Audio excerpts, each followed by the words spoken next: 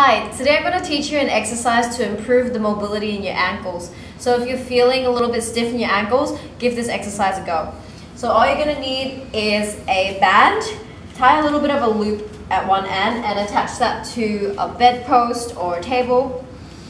So you're going to put your feet through the loop, making sure that that loop sits right below the two ankle bones over here. Once you have that, you're just going to lean in towards the front. Making sure your knee is in line with your second toe and the heel is down. So you don't want that heel off the ground. Making sure that's down. Once that gets a little bit easier, you can try different directions as well. So you can bring the knee inwards or outwards, but still keeping the heel on the ground.